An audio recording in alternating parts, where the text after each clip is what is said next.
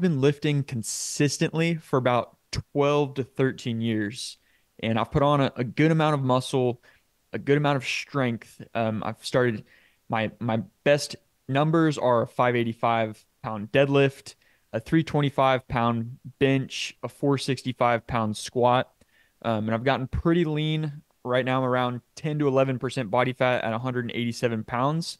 Um, but I've learned learned a lot of things the hard way right? I've made a lot of mistakes in my lifting career.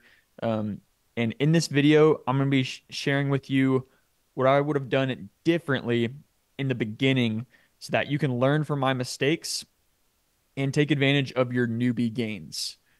All right, because newbie gains really is a real thing, guys. Like you can definitely make a lot more progress early on in your lifting career. You know, that that's just the fact of the matter. Um, the point where I'm at, where I'm a very advanced lifter and I've been doing this for a while, I'm happy with like very small amount of progress, right? But when you're early on, you really want to take advantage of how much progress you can make in the very beginning. So, mistake number one that I'm going to share with you is dirty bulking. All right. It's great to be in a solid caloric surplus, like when you're just getting started into lifting to make sure you're supporting muscle growth and recovery, but don't overdo it. Like I used to eat so much um being like this huge caloric surplus because I, I, was a very small kid. I just wanted to put on a lot of size early on, but I used to just eat so much and justify it as bulking. Right. I would I would say I borderline had like a binge eating disorder, you know, disguised as as bulking basically. So I, I would even do something called Fat Fridays um, in high school.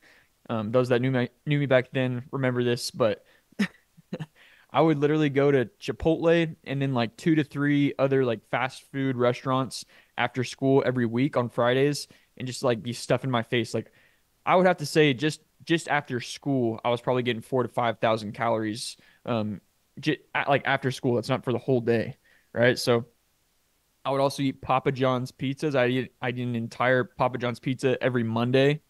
Um, and I was just eating excessively. You know, I was just eating way too many calories and not nutrient dense calories, right? These were it was just it was just the pure definition of dirty bulking. Okay. So this this allowed me to put on a good amount of muscle pretty quickly early on, but I also put on a good amount of fat, if I'm being real. Right. So this this made it unnecessarily hard for me when I started to, you know, decide I wanted to cut and lean out, right?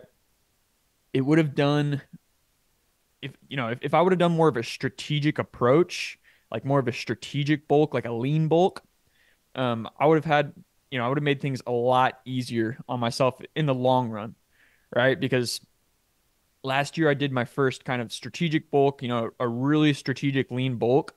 Um, and I put on 12 pounds of muscle while staying the same body fat percentage during that time. I was getting DEXA scans, like really measuring all these things. Um, so I put on 12 pounds of solid muscle without really putting on fat. So if I would have did that early on, it would have made getting lean a lot easier, and it just the whole process of getting in shape like would have been a lot easier in the long run. So learn from my mistakes and bulk responsibly, guys. like only go on strategic lean bulks. Um, you know, be on a plan even when it comes to bulking. Don't just do these forever dream bulks and put on excessive amount of fats because in the long run, guys, that's that's just gonna make it a lot harder for you when you decide you want to lean out. Okay. So that's mistake number one. Mistake number two is not focusing on sleep and recovery. So I've done a full sleep podcast in the past. If you haven't checked that one out, go check it out.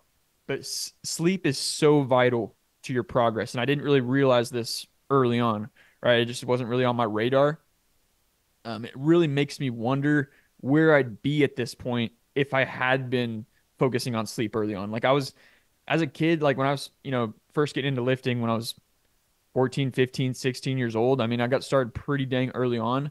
Um, you know, I was probably averaging five or six hours of sleep. That's that's terrible. That was probably terrible for my overall growth in general, but also just lifting as well.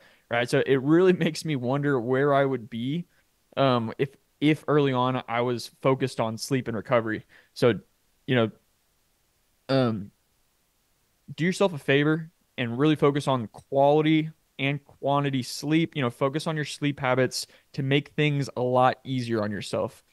You literally break down your muscle fibers when you work out. Like when you're working out, you're literally tearing all your muscle fibers.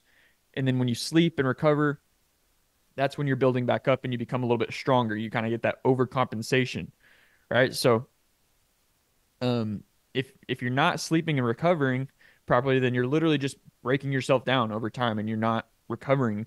So, you know, the I feel like in in this in the fitness space, there's kind of the grind culture, like sleep when you're dead type of mentality sometimes.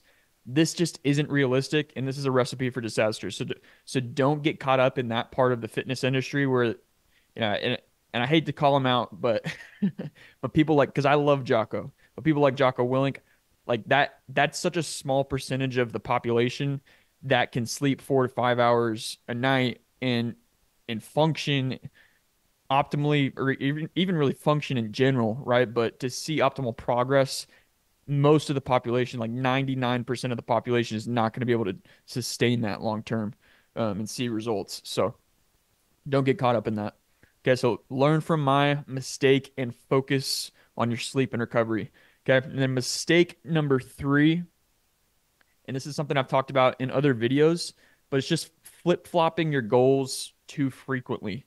So maybe it comes from me, you know, playing a lot of different sports when I was younger, but I would flip flop from from goal to goal like every every three months or so. You know, maybe it's because you know when you play sports as a kid, it's like every every season there's a different you know seasonal sport, so you're kind of just used to that. Um, but I, yeah, like every three months or so, I'd be like, all right, I'm setting a new goal that I'm going for. So I'd bulk, then I'd cut, then I'd want to be able to dunk and increase my vertical, and then I'd want to be strong. And I was chasing too many different goals all the time, right? So it's it's great to have these goals, but be realistic about the amount of time it's going to take to achieve these goals. All right, so like this past year, I went on like a 10 month bulking phase. Really gave myself enough time to put on muscle. Uh, and then I went on like a four month cut, which is longer than I usually cut for as well. I usually do like a 12 week cut. And then a seven. Now, now I'm shifting into a seven month powerlifting prep, which is much longer than I've ever just trained for straight strength. Right. So these are much more realistic time frames to achieve these type of goals. Okay, so learn from my mistakes, give yourself enough time to hit realistic goals, right? Like Rome was not built in a day. It's very cliche. And, um, you know, when you chase, when you try to chase multiple rabbits at once, you're not going to chase any of them, right? Choose one rabbit, chase it, go ahead and get it, move on to the next, right? So I hope this video was helpful for you. If you liked this video, then like the damn video and subscribe for more personal development and fitness content like this. But I'll see you guys in the next video. In the meantime, elevate every damn day. Peace. Elevate. Only obligation is to tell it straight.